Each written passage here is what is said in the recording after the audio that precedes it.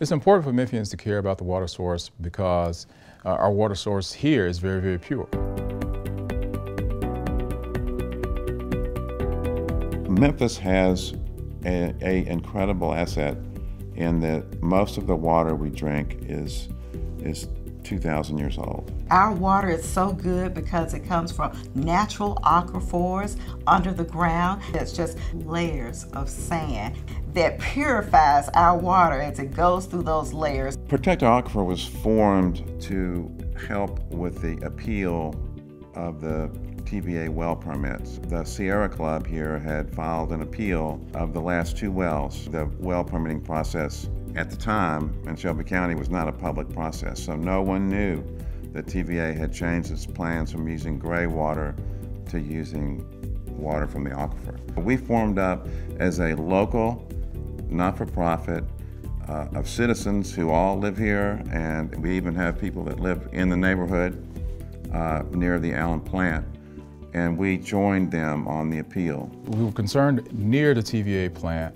because they found a high level of arsenic in the shallow aquifer near, near that uh, plant. And since TVA was drawing so much water for their plant, at least that was, that was the plan, uh, then we were concerned that it may be some interaction between the shallow and deep aquifer. Now this came on the heels of those things that were happening in Flint, Michigan. So that was a real concern for all citizens. It just kind of stirred the community to pay attention because we've already seen a disaster in another major city. TVA asked CAESER and the U.S. Geological Survey to team up and look at that connection between those two aquifer systems. Based upon our findings, there was a connection between the shallow aquifer and the Memphis aquifer. But of course, it came out that, you know, uh, there is connectivity, massive connectivity. We were saved by science. The findings of the TVA situation had brought an awareness to the citizens of Memphis and to city government. We had drilled wells into the aquifer and there should be this protective clay layer over the entire aquifer, but there were places when we drilled a well that we found no clay. And that's a breach. It's naturally occurring, you can't fill it in. It occurred, you know, many, many, many years ago. But that allows water from the shallow groundwater system, which is unprotected and is known to be contaminated in a number of locations, to leak through the breach and get into our groundwater supply. CAESER has been doing this research piecemeal almost as best we can with the funding that we had to understand at a county-wide scale what is going on, what is this threat that we're facing.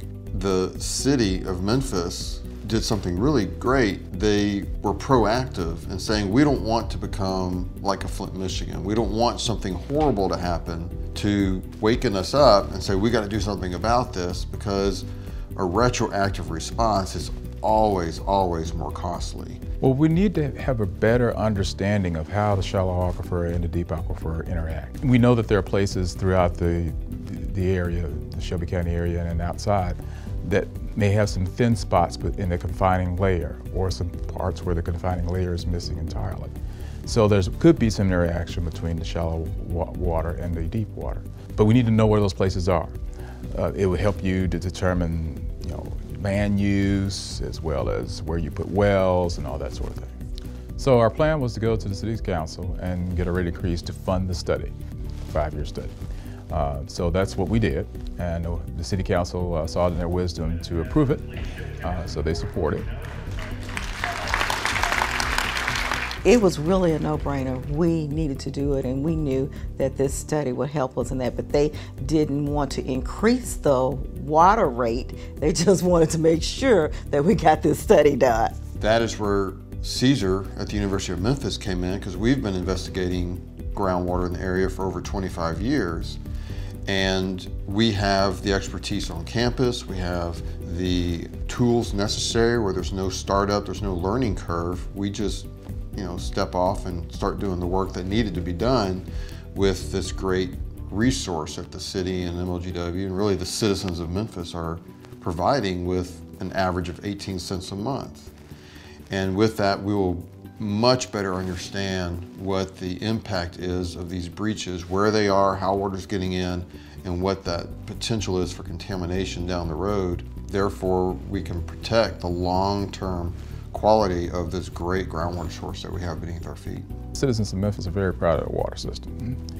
and they they know where we get the water from. You know, they're proud that we have an artesian water system. All Memphians should stay engaged with this research. How do you do that? You attend the meetings. Talk to your children about it.